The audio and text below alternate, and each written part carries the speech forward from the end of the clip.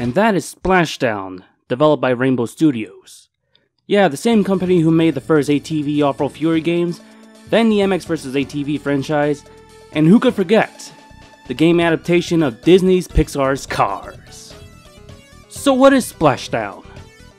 And in case you weren't looking at the obvious gameplay footage, it's a jet ski racing game endorsed by Sea-Doo, a watercraft and boats brand manufactured by Bombardier, or BRP. I used to have a similar game like this called Wave Rally, which was released on the same month as this, but endorsed by Kawasaki.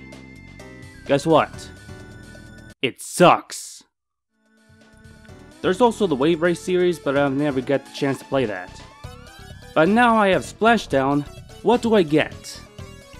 ATV Off-Road Fury, but with Sea-Doos! You could play as one of the 8 playable riders along with their dedicated Sea-Doos, but half of them you must unlock in career mode. In the usual jet ski racing game, you navigate around the track passing certain sizes of buoys because water-based tracks are pretty open-ended and sometimes hard to design in my opinion. The difference between Splashdown and other jet ski games I've mentioned are that the buoys are not all over the place. Missing one does not disqualify you, but stalls your watercraft for a couple seconds. Some of Splashdown's tracks are quite narrow, and even on different heights or platforms like in the Spain level, my personal favorite. The tracks themselves ranges from the US, Scotland, to even Satan's Closet called Australia. Plus it gets trickier and technical when you progress through the 20 levels. The controls in this game are quite bouncy, literally. If you try to land with the front down, you'll submerge and bounce around. If you lean back when landing, you'll bounce too. But landing flat is a considerable choice. In the training mode, you're greeted with some helpful techniques like submerging, bunny hopping, hydroplaning, and do a flip from bunny hopping. Nice. The only technique you have to rely most is the hydroplaning, which is equivalent to the straight line boost. I think the rest of it were underutilized, but those techniques came to play on later levels.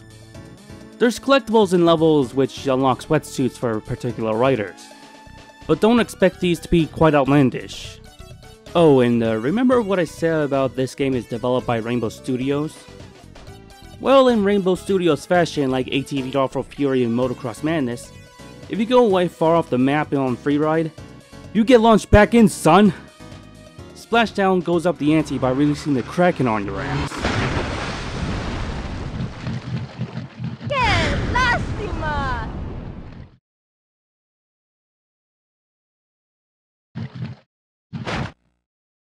The downside is that the camera can be an issue as it goes all over the place, disorienting the player.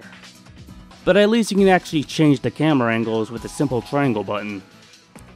The trick system is okay, but the more advanced ones are quite unresponsive. The soundtrack is also okay, but most of the songs are quite forgettable. And the only ones I remembered are SR-71s right now, KMFDM Son of a Gun, and uh, who could forget this?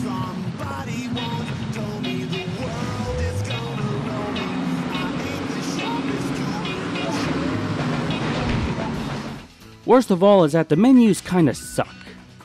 I know that's a nitpick, but this is one of the most dullest menu screens I've ever seen. Let's take Gran Turismo 3 for example. It's colorful, it's alive, and selecting things are quite satisfying.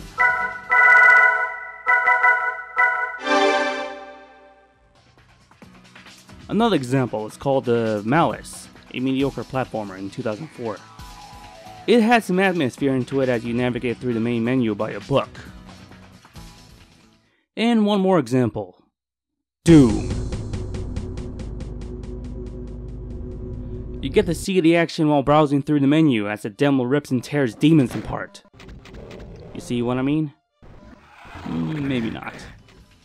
Now, in case you're wondering, why didn't I bought the sequel, which was League Superior and even balls crazy? Well, this game is actually cheaper and my curiosity demands it. Hell, it's even on my little PlayStation 2 wishlist because it's one of those games that my childhood wants to play but never got to. Not even the playable demo. So Splashdown and its sequel are worth getting. This game in particular is also available on Xbox. Now question is, Where did I heard about this game? That answer is next time